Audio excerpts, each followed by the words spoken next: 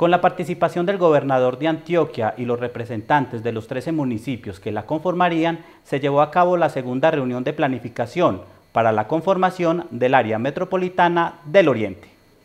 Los mandatarios y el gobernador definieron la hoja de ruta para convocar a sus habitantes en el mes de noviembre a decidir sobre la conformación de esta área metropolitana teniendo en cuenta la ley aprobada en el Congreso de la República y presentada por el representante a la Cámara por Antioquia, el Río Negrero, Esteban Quintero, en compañía de otros congresistas del Centro Democrático, que reduce al 5% del censo electoral la cantidad de votos necesarios para avanzar con esta figura que permite, entre otras cosas, integrar y planificar de manera ordenada el territorio. El Santuario, El Retiro, La Ceja, El Carmen de Viboral, San Vicente, Guarne, Concepción, Granada, El Peñol, Guatapé, San Rafael, Abejorral y Río Negro, 13 municipios cuyos alcaldes ratifican su voluntad y compromiso para avanzar con este proceso. Es así como fue conformado el comité impulsor integrado por la cooperativa León 13, la Corporación Empresarial del Oriente, Azocol Flores, la Universidad Católica de Oriente, la Cámara de Comercio, Mazora, El Retiro, Río Negro y el gobernador de Antioquia.